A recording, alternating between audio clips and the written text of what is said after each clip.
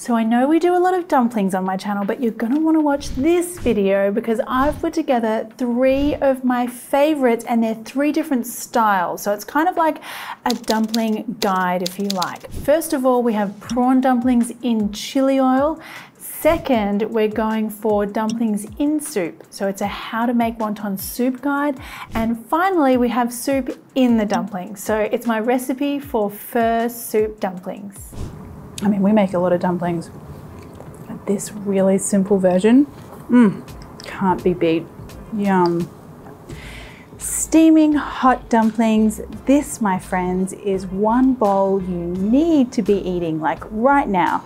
These are my classic prawn dumplings in spicy chili oil sauce. So you guys know by now, dumplings are literally like my favorite food group. Uh, these dumplings are really classic, really beautiful, elegant Chinese flavors with a big, not so elegant, big punchy kind of chili oil bath at the end and it all works together beautifully. Uh, all right, let's get started on the filling part first of all. Now for me, this dumpling really depends on two things. One is the beautiful pure flavor of the prawns and the other thing is the kind of crunchy element we're going to add and that is with the water chestnuts so you can find water chestnuts in a can they're perfectly fine to use canned i'm lucky here in thailand i can find them fresh now you just want to fine dice on these.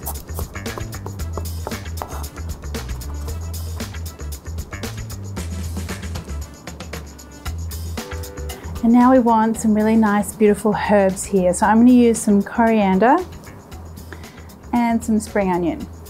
Now for me, texture and chopping here is really important. So if your spring onion is really quite large, you're gonna wanna thin it out through the stem here. Mine's not too bad, but I know you can get some uber big ones that are almost like leeks.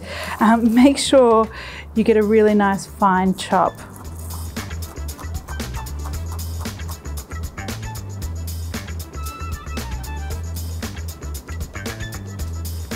And now some really simple aromatics here. I just want some ginger.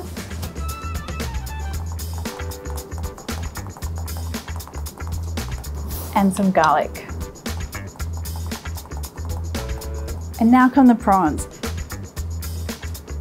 Now you don't need a big cleaver here like I have. It is more fun with a cleaver, but um, a regular knife is just fine. Just make sure you're chopping into nice fine pieces. So you could totally do this in a food processor. What I find though is that when you hand chop your prawns, and I know it's a little bit of extra uh, work, but it's really worth it because you get just the right amount of pop and bounce and texture, and you get some nice little chunks of prawn in there as well. But who am I to judge, guys? If you want to do the food processor way, totally go ahead and do it. Now the key to getting a really fine chop here is to kind of go ahead and do some chopping and then fold the prawn meat over and then go back in the opposite direction. Okay, so this is the kind of texture that you're looking for. And pop that into your bowl.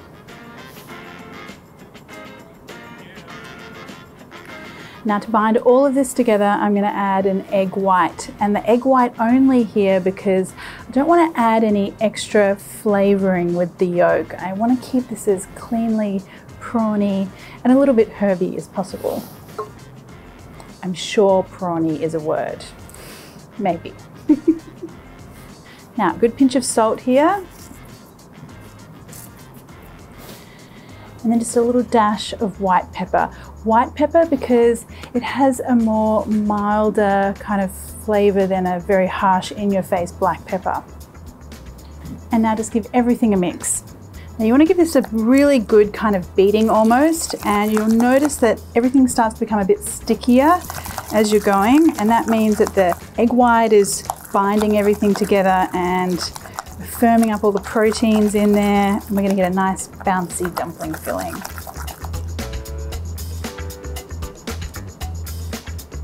So with the wrapping, I'm gonna keep it really simple. See, I don't ask too much. A lot of chopping, but simple wrapping.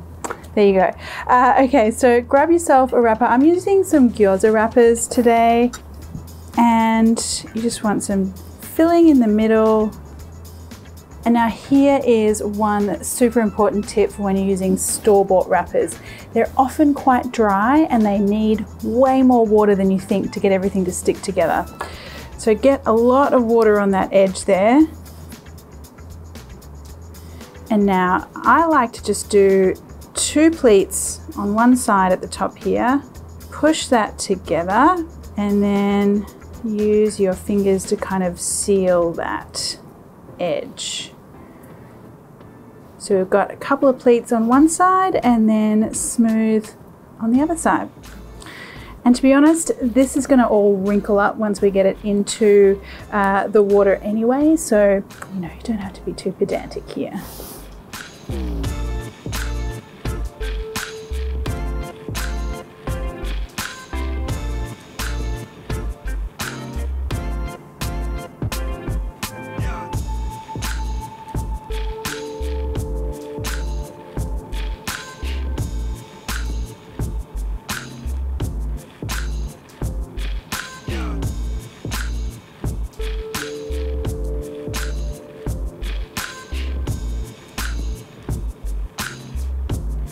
I'm just waiting for my water to come up to a boil so I can cook my dumplings. So in the meantime, let's make our dipping sauce.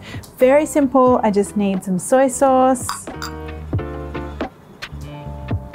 And then for me, what sets apart a really good dumpling dipping sauce is dumpling dipping sauce. Ah, it's a mouthful. Um, what sets it apart from a good and a bad one to me is the addition of vinegar. So if you can get a hold of this Chinese black vinegar, that is going to give you the most beautiful it's almost like a red wine vinegar sort of flavor. So if you can't get the black vinegar, feel free to add a little bit of red wine vinegar instead.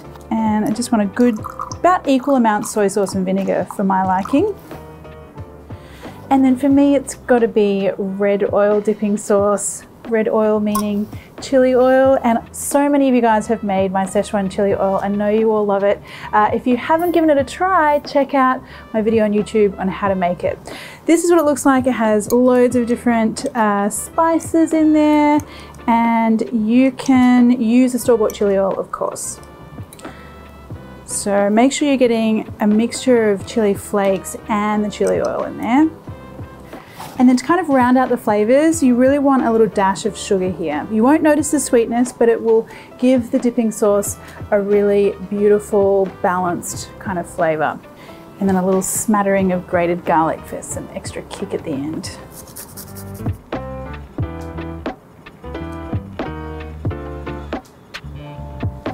Now my water's ready to go. It's simmering, but you don't want it really rapidly boiling too much um, because you can run the risk of your dumplings breaking apart. Um, so I just want a nice gentle bath for my dumplings here. And you want to cook these for about five or six minutes or until the dumpling wrapper becomes nice and frilly and you can just see a little bit of that pink prawn kind of popping through uh, the wrapper. All right, now these are looking ready to go, which is good news because that means I get to try them soon. All right, just give them a drain, pop them into a bowl. I like to go kind of elegant, a little bit fancy schmancy with these ones. So I just put a little serving of dumplings in here. Some of that dipping sauce drizzled on top. Kind of want to make sure you're going to get a really good mouthful of that dipping sauce, so be generous.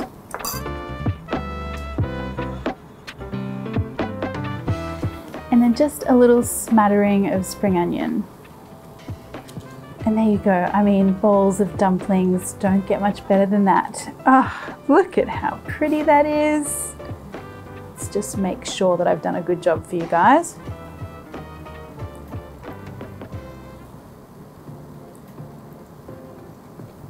Mm. If you have a look at that filling in there, it's just beautifully simple. The prawn, just flecks of those herbs, but the texture that you get, so you get that crunch from the water chestnut and those little hits of flavor from the spring onion, from the coriander and the garlic and ginger. And then you get the vinegar and the chili oil and the soy sauce and it really is quite the symphony. Beautiful. Mm.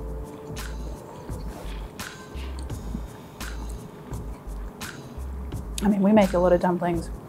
This really simple version, mmm, can't be beat. Yum.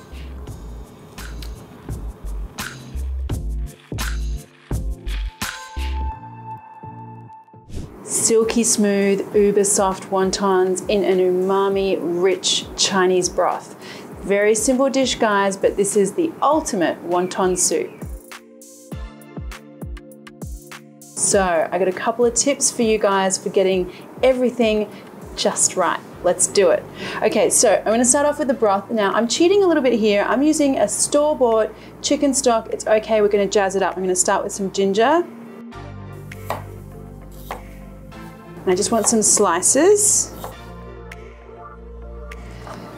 That goes into some stock that I've got warming here on the stove. And I want some garlic as well. I just want to crush these guys a little bit. They go in. And then for some really subtle background flavor, I'm gonna add a couple of these spring onions. I'm just gonna bruise them a little bit first to release all of their flavor. Okay, that goes in. And then my secret ingredient is dried shrimp. So these little guys are gonna add some saltiness, some savoriness, just a little hint of background flavor. They're optional, you don't have to use them, but you'll notice the difference if you do. And then for a little bit of seasoning at the beginning, I'm just gonna pour in a little bit of soy sauce. Now I want this to come up to a boil and then I'm gonna reduce the heat down a little bit. Just let it simmer away, bubble away, infuse with all of those flavors for about 20 minutes. If you've got half an hour, that's good as well, but at least 20 minutes. Now we need to make our all important wonton filling. So this needs to be super soft and tender to complement the kind of silky texture of our wonton wrapper. So we don't want a filling that's really firm and really hard. So I've got all the little tips and tricks we need to make that happen. First off, we're gonna start off with some pork mince. And I love a pork and prawn combo, so we're gonna do pork and prawn. I've got some prawns here, I just wanna mince these up very fine.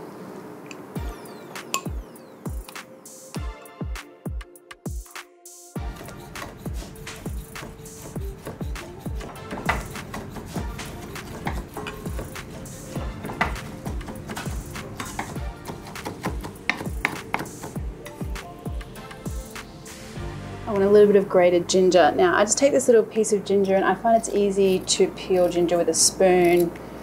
And I just want to finely grate that ginger. And I also want some white pepper and a little dash of sesame oil is going to make things even more fragrant. And now here come our bits and pieces that are going to turn our wonton filling into something really soft and smooth. We want chicken stock, quite a lot of it, and an egg. And then to help bind everything together and give us the right texture, I'm gonna add a little bit of corn flour and just add in some salt and then give this a really good mix.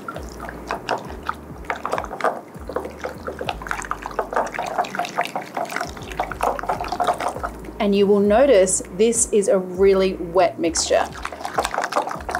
It should almost look to the eye like it's too wet. Okay, that's looking good. Now this kind of wet dumpling filling is really only useful when you're doing dumplings or wontons for a soup because you wouldn't want to deep fry these guys because all of that liquid in there would come out in the oil and the dumpling would burst and you'd get oil everywhere and that would not be great for anyone. Uh, so use this kind of wet style filling whenever you're doing a soup kind of dumpling. And now we're at the folding part. So grab yourself a wonton wrapper and just put small amount in the center. The wonton wrappers I tend to buy in Bangkok, they seem to be very small. So it really kind of depends on the size of wonton wrapper that you have as to how much filling you put in here. But you don't want to overfill it Certainly don't want to underfill it either. But just go by what happens when you go to fold. You'll realize if it's overfilled because all the stuffing will come out. So now fold the corners together and then just press down one side, press down the other side. So we're making a triangle. Now we've got our triangle and just brush the edges with a little bit of water and then brush the tip of your triangle with water and fold everything together, two points And there you have your little wonton. Now don't worry too much about your folding skills here guys. With this kind of soupy wonton, uh, it kind of loses its shape a little bit anyway, so don't be too pedantic about it.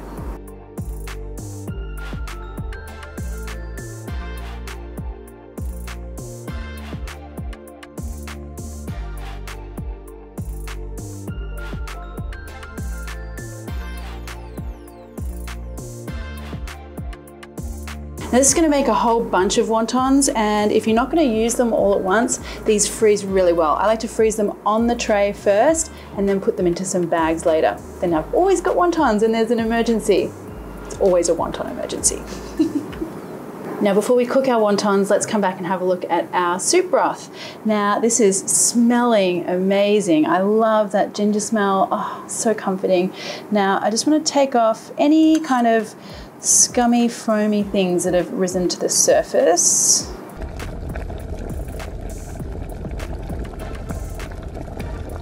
And now the final step to make our broth absolutely perfect is the seasoning. So this is totally gonna depend on how salty the chicken stock was that you used, maybe even the brand of soy sauce that you used. So it's gonna be a little different for everyone.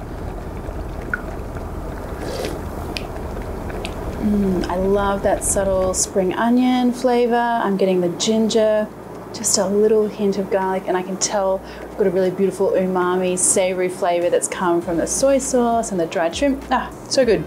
All right, does need a little bit of salt though. I don't want to add more soy sauce because I don't want to color the stock too much, but I do want a little bit of extra oomph there.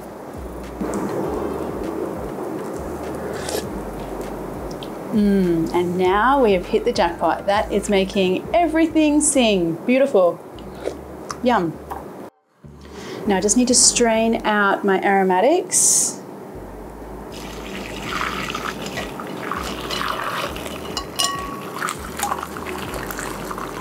Oh, and you won't believe how much flavour has gone into this stock in such a small amount of time. And then pour your broth back into a clean saucepan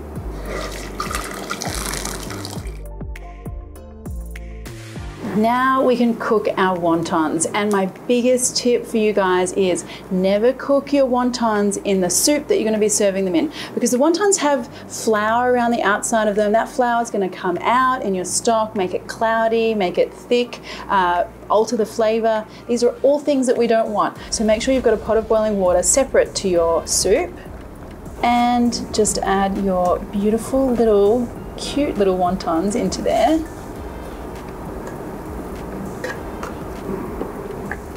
Just give them a little stir, make sure they're not sticking to the bottom.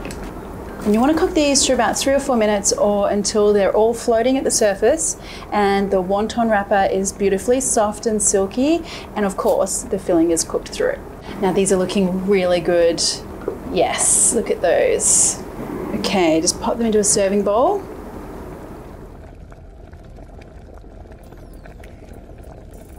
and then ladle over that beautiful, hot, savory broth. And then just a final scattering of a few spring onions. And that, my friends, is a little bowl of perfection. Very simple, nowhere to hide, so you've got to get it all right. Let's see how we've gone. So silky smooth, and that beautiful broth and the filling. You, you can't even tell the difference in texture between the beautiful soft wonton wrapper and that really soft filling. And that's exactly what you want. The least amount of resistance. Or you can eat more quicker. I hadn't thought about it like that before. ah, these are so good guys. Can't wait for you to try them.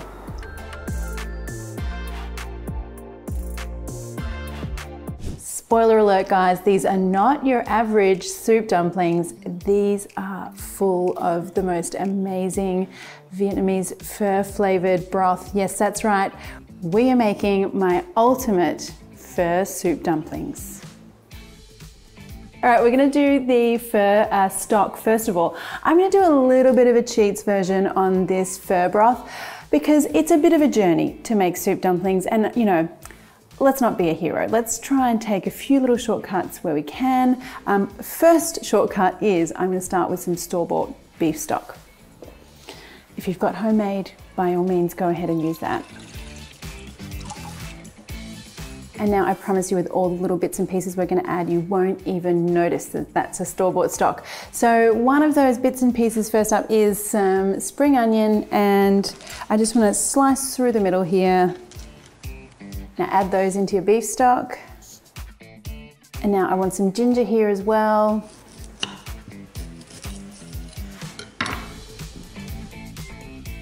And some garlic. So now we just need some cinnamon, some star anise, and some cloves. Bring that to a simmer and then you want to let that cook away for about 20 minutes or until it's, the whole thing is like reduced by half. All right, so at this point, this is smelling amazing. I'm getting all of those pho kind of, you know, aromas, the, the spring onion, the spices. Um, now what we need to do is season. And I really want to season this quite heavily because I want the broth part when it explodes, uh, when we're eating those dumplings to be really intense and amazing. So we're gonna go in with some fish sauce.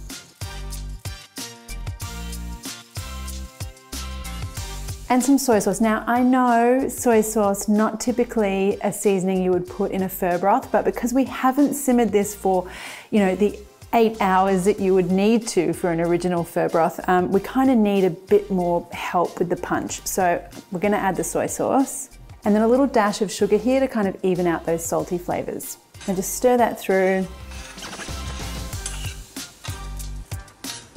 Now what we want to do here is strain this off into a shallow bowl because this is where we want to start making our little jelly concoction. And then I want to mix some gelatin powder just with a little bit of water here, room temp's fine. Just let that dissolve like one, two minutes. You'll see it just starts to firm up. All right, so when you've got this kind of like lumpy, thick, jelly-like texture with your gelatin here, you wanna get that into your stock. And at this point, the stock will have cooled a little bit, so it'll be the perfect temperature for adding the gelatin. You don't want it super, super hot or boiling. All right, now give that a whisk. Make sure you get all of that gelatin dissolved in there. Okay, so that just needs to go into the fridge about two hours or until you've got a nice firm set jelly. So my soup jelly should almost be done there in the fridge. I'm just gonna do the rest of the filling stuff first. And what I need is some pork mince. Now, don't be afraid of the fat here, guys. A fatty mince will give you a juicier dumpling. Embrace the fat. And I want some spring onion here. And these guys can often come really large and thick. So I want you to be a little bit pedantic about the chopping here. We want to slice through lengthways until we've got nice fine strips first of all.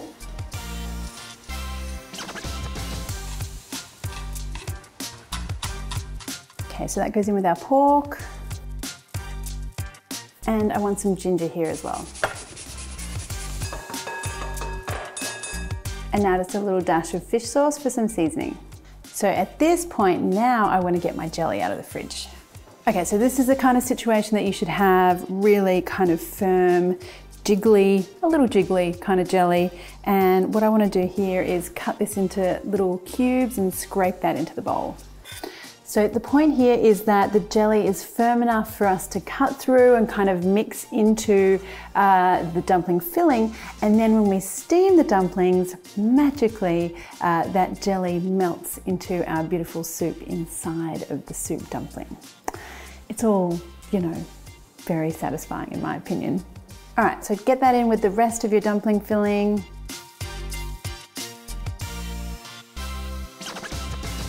Just give that a really good mix. And you should have quite a wet mixture here, but not so wet that you can't sort of manage it into a dumpling wrapper. So this is the kind of texture that you're looking for.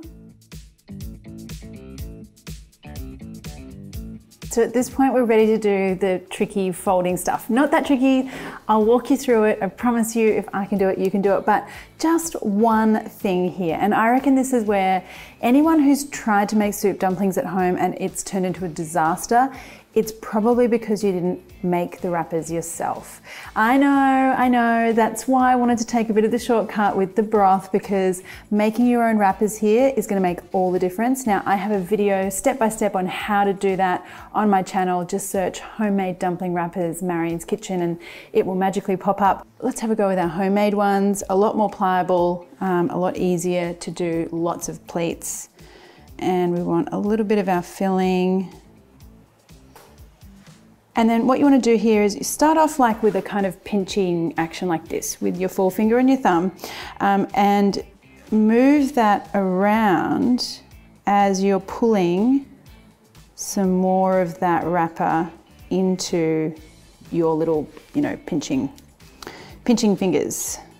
So we go around and around, around, now look, I am not the Din Tai Fung guy, like, you know, theirs look amazing, but you know, I reckon with a little practice at home, you can get them looking pretty damn cute.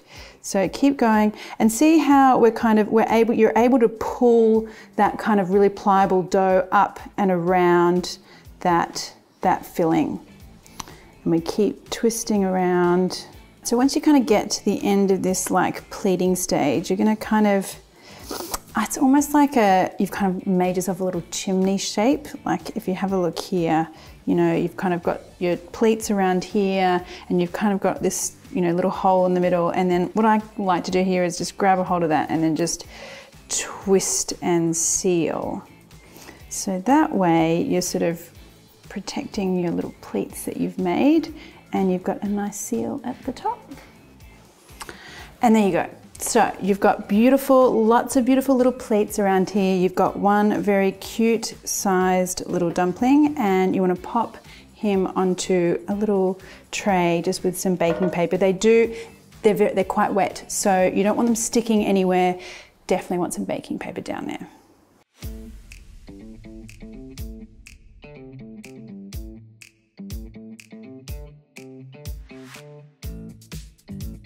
Let's cook these guys and we're gonna do this without a steamer because not everyone has a steamer. Um, so we wanna put these onto a plate. I've just put some baking paper on here and now I've got a wide, deep pan, um, just with some water in the bottom, not full. Uh, and then I'm gonna take a little, I made a little like aluminium foil donut. Um, so that goes into the water.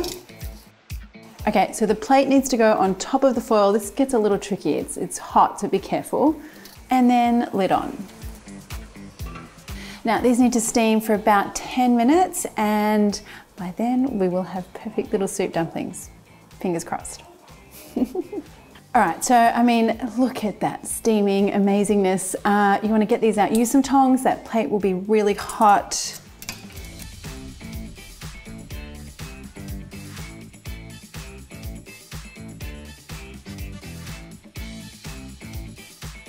Now, what I like to do here is a little bit of decoration. Uh, I just want some coriander.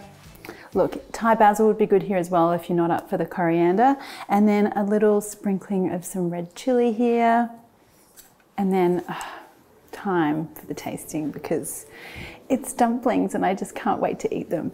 Look, so the way I like to do a soup dumpling is to pop one onto my spoon and then I want to have a good look at that soup. So I kind of poke a hole in there.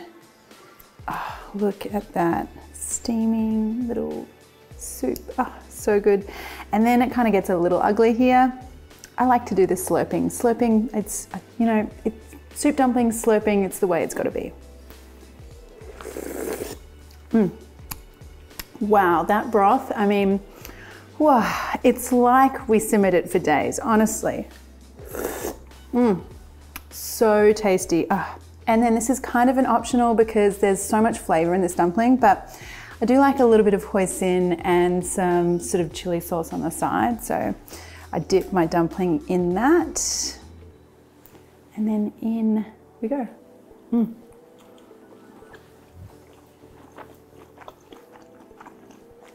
That is so freaking good.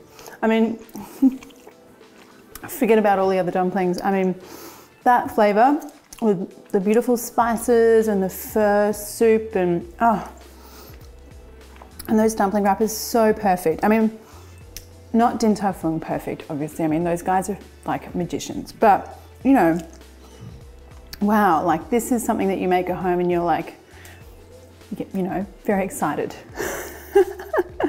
very, very excited. I could eat so many of these. Oh my God.